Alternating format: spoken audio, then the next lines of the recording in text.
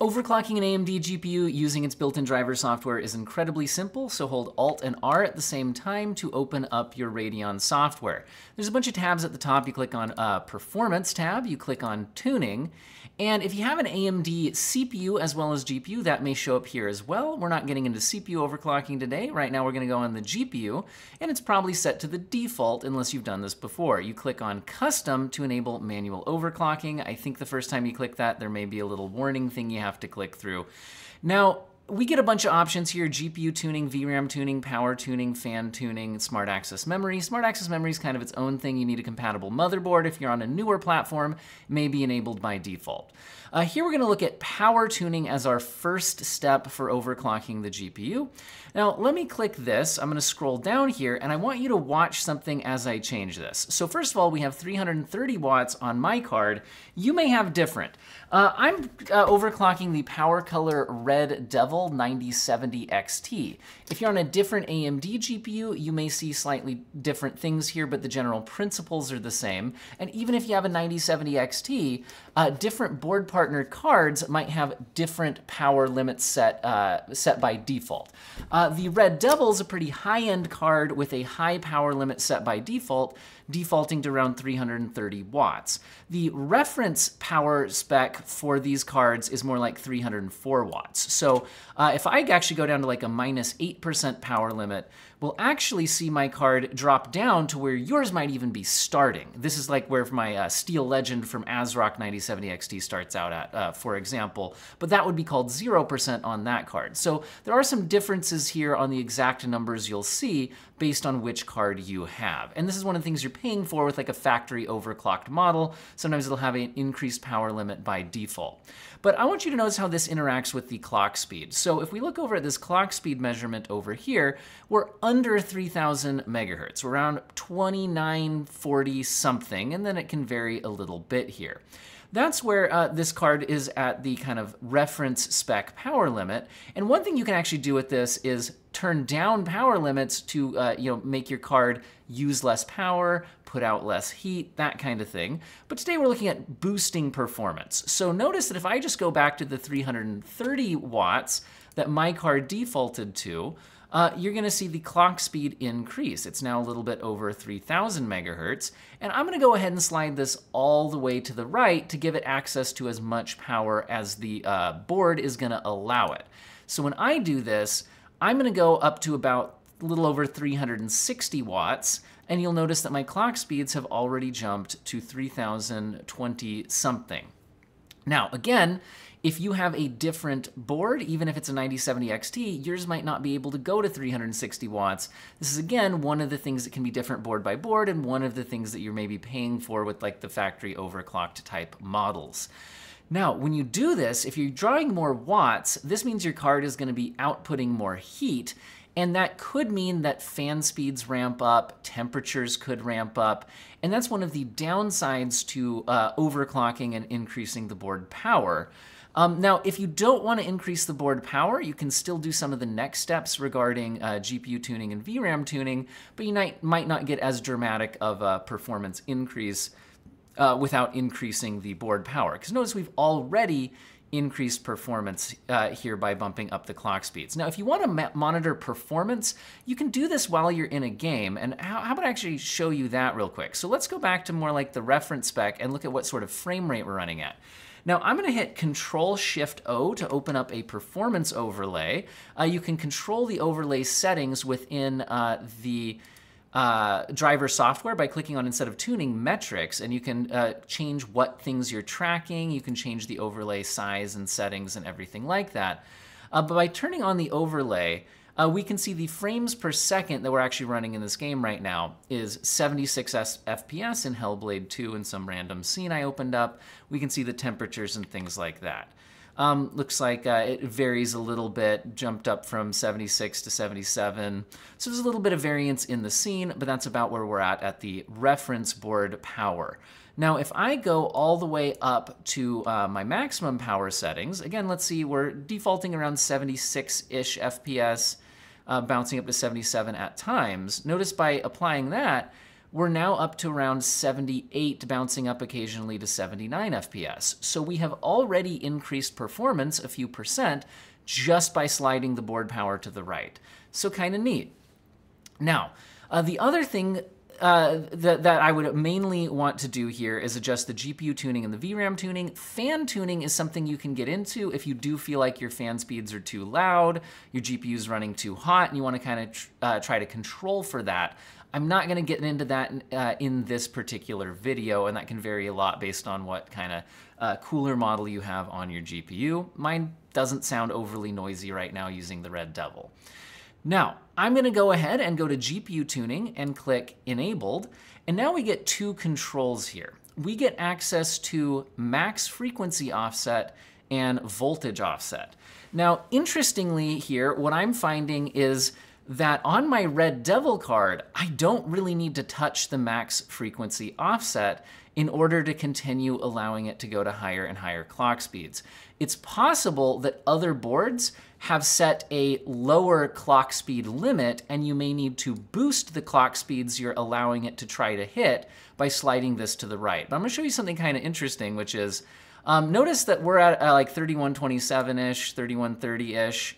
Uh, so that's the kind of clock speeds we're hitting. Now, if I slide this all the way to plus 1000 and hit apply, I don't think we're gonna see any change to the clock speeds it's allowing me to hit. I'm giving it permission to go a lot further, but it's just not able to go a lot further at these settings. And again, on the Red Devil, I've already done some overclocking behind the scenes, and I have not had to increase my max frequency offset in order to get increased performance by adjusting the voltage offset, which is where we'll really see the performance gains. Now, another thing you can do here is decrease the frequency you're allowing the card to run at. Like I could go to minus 500, uh, and we'll see that if, if I apply that, it's going to pull the clock speeds down. And also notice that the total board power is coming down and my temperatures are coming down. So this is something you could do if you were wanting to control temperatures and power and things like that. So again, I found that on the Red Devil card I'm overclocking right now, I can leave this at zero. You may need to boost it uh, to give your card permission to go to higher um, clock speeds. But it seems like the default settings on the Red Devil are allowing it to um, uh, go as high as I'm able to go anyway. Now, on the voltage offset, this is where we're gonna get any additional performance beyond what I did with the total board power and then what we can do with memory. Now, the voltage offset is basically gonna reduce the voltage the card is running at. So for example, if I go to minus 40, uh, it's reducing the voltage. Now, wouldn't that lower performance? That's what a lot of people feel like when they hear undervolting is they're like, wait, won't that reduce my performance? And no, this is gonna increase the clock speed at the same watt. Uh, basically, if I can run the card stable at a lower voltage, then it can achieve a higher frequency at the same watts. So notice, when I click apply on minus 40, our clock speed is going to increase. So right now, again, we're bouncing between like 3120s and 3130s. When I click, click apply, uh, now notice that this is boosting to 3170 or so. So my clock speed increased when I decreased the voltage offset without drawing any additional power. That's how that works. So we're getting some additional performance here. The problem is that different cards are going to be stable at different voltage offsets. You might get unlucky and your card might not be able to decrease the voltage offset at all without crashing in certain games. That's the silicon lottery. How lucky did you get on the exact GPU die that's in your card. And just because maybe you buy a PowerColor Red Devil, it doesn't necessarily mean that you will be able to achieve exactly the same uh, undervolts or overclocks that I'm able to. Um, there is some variance there, and you're only ever guaranteed to get the out-of-the-box performance of your card. That's all you're ever guaranteed. That being said, a lot of cards can push well beyond what's on the, on the tin. Now, generally how this process works is you'll slowly bump this in increments of like 5 or 10, you'll apply it, You'll check to see that you're getting some clock speed boost. If you're not, you could try giving your, yourself uh, permission to go further. Again, mine's going up without needing to give it additional permission, so this setting seems fine. And then you can see if your performance is going up. But then the other thing you should be doing is stress testing. I'm skipping that part because it takes a long time, and that's honestly the, the only part of this that's really kind of tedious is you should then play games, run games with built-in benchmarks, run uh, uh, you know synthetic benchmarks that can be stress tests. AMD has a stress test button here you can try out, and this is kind of the downside to an overclock is that it's it can decrease the stability of your system, and you might not notice it at first. So you might think you have a dial dialed in stable settings and then you try out a new game and suddenly the new game's crashing. And now you need to figure out, is the new game broken or is my uh, overclock undervolt unstable? So personally, I actually don't uh, adjust my cards. I leave them at out of the box settings just for maximum stability. But that being said, um, a lot of cards will be perfectly stable at reasonable settings here. Now, again, you would adjust it a little bit more, adjust it a little bit more, stress test it, etc. If you go too far, the whole game might just crash instantly on you. But just because it's not crashing instantly doesn't guarantee it's stable. Now, I've done a bunch of testing off camera here, and I've found that while in this particular game, I could go a super aggressive to like 170, minus 170, minus 180, and I saw no issues in Hellblade 2. I found that when I loaded up Cyberpunk, um, even uh, uh I had to go all the way down to minus 100 or else it would crash.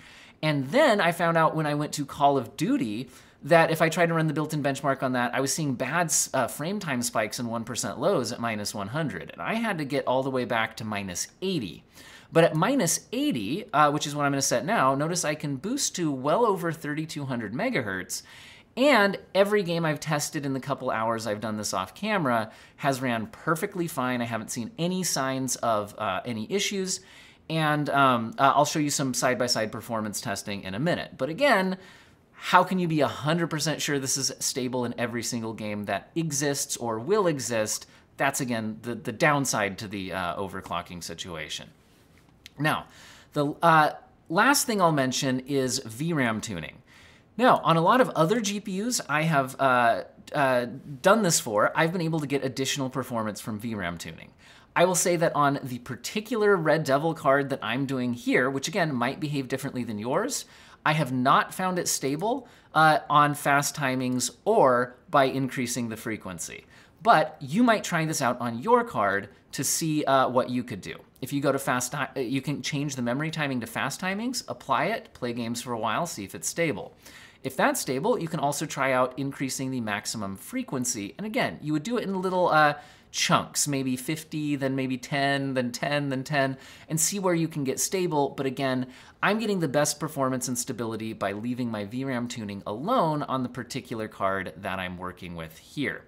So overall, what are we looking at here? Our frames per second are now sitting at around 80 to 81. Notice that if I go all the way back to default settings here, uh, this is dropping back to around 78-ish. So we got several frames per second better by just sliding a couple of sliders and doing a little bit of uh, uh, testing to make sure that that works.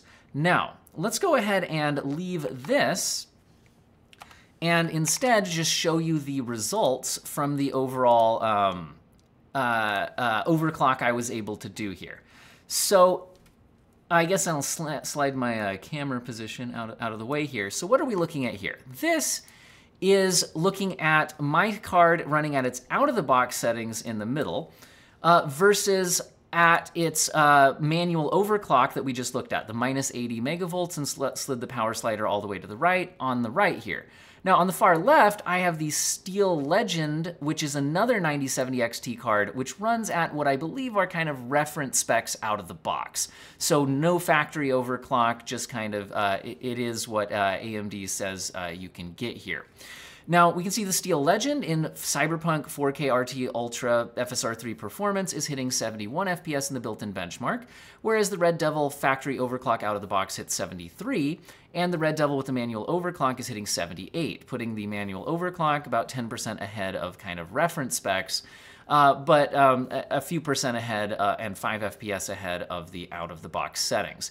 If you look at the uh, frequency numbers up there, you can see that the GPU clocks are breaking 3 gigahertz on the Red Devil with the manual OC, but in this particular game was under 3 gigahertz on the other cards. Now, on Call of Duty Black Ops 6 at 4K basic settings, uh, we are seeing the Steel Legend kind of running at reference 9070 XT uh, specs, hitting 149, the Red Devil with the factory overclock defaulting out of the box to 153, and with my manual overclock applied hitting 160. Again, notice the frame time graphs are very smooth here. Uh, this is a, I initially started uh, benchmarking at minus 100 millivolts, but uh, on the voltage offset. But when I did that, the OC was getting um, really bad frame time spikes on the frame time graph and really bad 1% lows. So I, that, this is the game where I noticed I had to back off to minus 80 instead of minus 100. Uh, now, I did test out uh, one other game, but I didn't have time to check it out on my Steel Legend. So, oh no, I have the wrong name typed in here, guys. This does not say COD Black Ops 6. This says Monster Hunter Wilds, and that does not say 4K Basic. Uh, that says Ultra Settings, which you can see up there. Now, 4K Ultra Settings, Ultra Settings in this game does default to using some upscaling. This is FSR 4 at the quality setting. Now, one reason I tested this game is it's a longer benchmark run, because again, to stress test the stability of an overclock, uh, don't assume a few seconds is going to do it, right? So this is a longer benchmark, and you can even set this built-in benchmark to run on a loop. Um, so there's that. But also, people have just been begging me to benchmark my 9070 XT and Monster Hunter Wilds, so I fit that into this video. Anyway, uh, on the left, you see the uh, uh, the Red Devil running at its factory overclock kind of stock settings for this card, but above the reference spec for 9070 XTs. And on the right-hand side, you see the manual overclock. We're not getting a massive performance boost in this game from the manual overclock. It ended up being about a 3% performance boost by the end of the built-in benchmark. We're averaging 76 FPS with the manual overclock. And without the manual overclock, it's 73.5. Keep in mind that that does have a bit of a uh, factory overclock on it, right? If we looked at the Steel Legend at the 304 watts kind of reference, uh, we'd probably be down another one or two FPS or one or 2%. So Anyway, that's what I'm getting out of this. Uh, I'd like to uh, remind you guys, though, that my personal preference on overclocking and undervolting is I value stability more than I value a few more percent of performance. So that's my personal preference. Um, another thing I'll mention here is if you're curious about the two cards, uh, this is the PowerColor Red Devil and the Steel Legend is in white. And I did a little unboxing video on the members feed for my channel. This isn't trying to uh, paywall hide content or anything. It's just that I don't think an unboxing video in and of itself is particularly useful information or would perform well on YouTube or whatnot. But if you're curious, that's what they look like. You can see it here. Uh, anyway, so one of the things you get with a uh, which GPU cooler do you buy is what do they look like. Another thing you get is what kind of power limits do they have both out of the box and what do they allow you to do manually. Anyway, hopefully you guys found this video useful and or interesting. Uh, I'm by no means any kind of overclocking expert, so I do not want to imply that this is the absolute best possible uh, overclock you could achieve on a 9070 XT or even my 9070 XT. What I'm trying to show you here is the absolute basics of how you can apply a simple overclock uh, to get a little bit more performance if that's something you're looking to do. I'm not an overclocking expert, and like I said, personally, don't even keep my my cards overclocked or undervolted, just because I, it makes me paranoid about, oh man, if I'm having any issues in a game, is it, is it my overclock or my undervolt, or is it the game itself? anyway, uh, I hope all of you guys have an excellent day.